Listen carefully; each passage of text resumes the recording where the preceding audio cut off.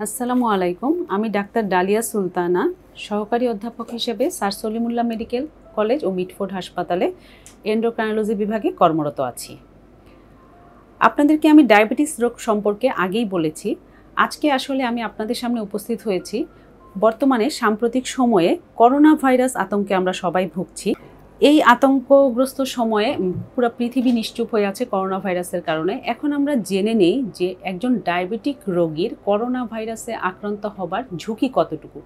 অথবা উনি যদি আক্রান্ত হয়েই যান, তাহলে ওনার মৃত্যু ঝুঁকি কতটা বেশি? বর্তমান সময়ে দেখা যাচ্ছে যে করোনা আতঙ্কে আমরা সবাই আতঙ্কগ্রস্ত, কিন্তু চীনের একটা স্টাডি বলেছে যে যেসব রোগীরা করোনার জন্য ঝুঁকিতে রয়েছে। করোনা আক্রান্ত হবার সম্ভাবনা বেশি। তার মধ্যে এক নম্বরে আছে উচ্চ রক্তচাপ, দুই নম্বরে আছে ডায়াবেটিস। এছাড়া যাদের হার্টের ডিজিজ আছে, যাদের ক্যান্সার আছে, যাদের রেসপিরেটরি সিস্টেম সিওপিডি শ্বাসযন্ত্রে কোনো সমস্যা আছে বা যারা ধূমপায়ী, এ ধরনের রোগীরা ডায়াবে করোনা আক্রান্তের ঝুঁকি বেশি। এখন আসার কথা হচ্ছে এটাই যে আমরা বলি যে যাদের ডায়াবেটিস নিয়ন্ত্রণে আছে, তাদের করোনা আক্রান্ত হবার ঝুঁকি নর্মাল পার্সনের মতো। তাহলে আমাদের কি করতে হবে? প্রথমেই আমার ডায়াবেটিসটা নিয়ন্ত্রণে রাখতে হবে। কারণ হচ্ছে যে ডায়াবেটিস অনিয়ন্ত্রণে, অনিয়ন্ত্রিত থাকলে আমাদের ইমিউন সিস্টেমটা উইক হয়ে যায়। আর ইমিউন সিস্টেম উইক হয়ে গেলেই আমাদের যে কোনো ইনফেকশন হওয়ার সম্ভাবনা বেড়ে যায়। এখন একজন ডায়াবেটিস রোগীর, তাহলে করোনা থেকে মুক্ত থাকার জন্য কি করতে হবে? ওনার ডায়াবেটিসটা নিয়ন্ত্রণে রাখতে হবে। সাথে আরও কিছু মেজার নিতে হবে এই কারণে যে, উনি যদি করোনা আক্রান্ত হয়েই যান, তাহলে স্টাডি বলছে যারা মারা যাচ্ছে বা মর্টালিটি রেট যেটা মৃত্যু ঝুঁকি, সেটা সাধারণত thirty five percent diabetic patient মানে যেসব পেশেন্টরা মারা যাচ্ছে, তার মধ্যে দেখা যাচ্ছে পঁয়ত্রিশ পার্সেন্ট রোগী ডায়াবেটিসে আক্রান্ত ছিল। আর thirty three percent patient hypertension বা উচ্চ রক্তচাপের ঝুঁকিতে ছিলেন। বাকি থার্টি থ্রি পার্সেন্ট পেশেন্টের ক্যান্সার বা অন্য কোনো ঝুঁকিতে ছিলেন বা ধূমপায়ী ছিলেন বা সিওপিডি রোগে আক্রান্ত ছিলেন। তাহলে আমাদের অবশ্যই সতর্ক হতে হবে। তাহলে সতর্কতাটা কীরকম? সতর্কতাটা হচ্ছে আমাকে ঘন ঘন হাত ধুতে হবে। আমাকে সোশ্যাল ডিস্টেন্স মেনটেন করতে হবে বা- বা সামাজিক দূরত্ব। মানে একজন পার্সন থেকে আমাকে সবসময় দুই ফিট দূরত্বে দাঁড়াতে হবে। ফেস টু ফেস ইন্টারাকশন বা মুখোমুখি থাকা যাবে না। এটাও আমাকে অ্যাভয়েড করতে হবে। আমি আগেই বলেছি, ঘন ঘন সাবান দিয়ে হাত ধুতে হবে। এছাড়া হাত দিয়ে চোখ, মুখ, নাক যাতে স্পর্শ না হয়, সেটা খেয়াল রাখতে হবে।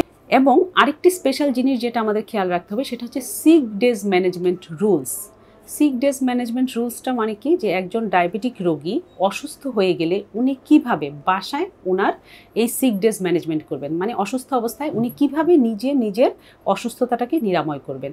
সেটা কি? সেটার জন্য আমার একটা বাসায় গ্লুকোমিটার থাকতে হবে। দ্যাট মিন্স যদি একজন ডায়াবেটিক রোগী কোনো ধরনের অসুস্থ কোনোভাবে অসুস্থ হন, তাহলে আমরা কি করি? মনে করি যে আমার জ্বর হয়েছে বা গলা ব্যথা, কাশি, ঠান্ডা, আমি খেতে পারছি না, আমার রোগী কিছুই খেতে পারছে না, তাহলে আমরা পুরোপুরি ইনসুলিন বন্ধ করে দিই বা ঔষধ বন্ধ করে দিই। এটা হচ্ছে সম্পূর্ণ ভুল ধারণা। তাহলে কি করতে হবে? ওই রোগীটিকে ব্লাড সুগার মনিটরিং করতে হবে। গ্লুকোমিটার দিয়ে ব্লাড সুগার মাপতে হবে।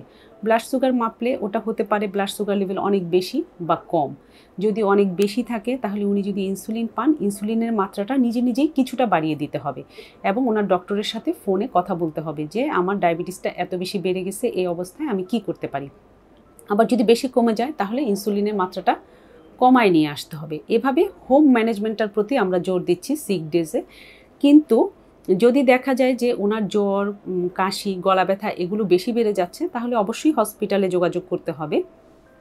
সাধারণত আমরা কেন এত কথা বলছি ডায়াবেটিক রোগীদের নিয়ে? কারণ ডায়াবেটিস রোগীদের যে কোনো ইনফেকশনে দেখা যায় যে ব্লাড সুগার লেভেল বেড়ে যাচ্ছে। করোনা বা কোভিড নাইন্টিনেও সেম সমস্যাই হচ্ছে। ওনাদের ইনফেকশনের কারণে ব্লাড সুগার লেভেল বেড়ে যাবে।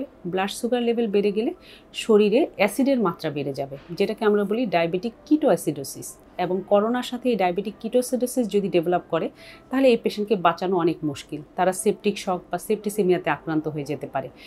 এর জন্য সব সময় এই ডায়াবেটিক রোগীদেরকে সতর্ক থাকতে হবে এবং এই যে বর্তমান সময়ে তাদেরকে অল্প যদি ডায়াবেটিস যে মোটামুটি কন্ট্রোলে আছে, তাহলে ডাক্তারের কাছে আসার আপাতত প্রয়োজন নেই। এখন তাদেরকে ঘরে সোশ্যাল আইসোলেশনে থাকতে হবে এবং আশেপাশে কোনো প্রবাসী বা বাইরের লোকজন আসলে বা অতিথি আসলে তাদের সাথে অত বেশি দেখা করার প্রয়োজন নেই। মানে তাদেরকে একটা সামাজিক দূরত্ব মেনটেন করে চলতে হবে। কারণ যে আবার একটা জিনিস খেয়াল রাখতে হবে যে যে কোনো জ্বর ঠান্ডা, কাশি মানেই একজন ডায়াবেটিক রোগীর মানে তিনি যে কোভিড নাইন্টিনে আক্রান্ত হয়ে গেছেন তা না।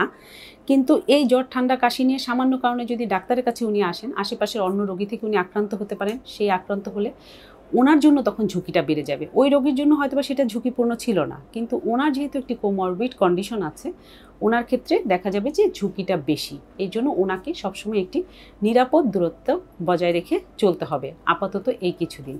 সবাই সুস্থ থাকুন, ভালো থাকুন। ধন্যবাদ।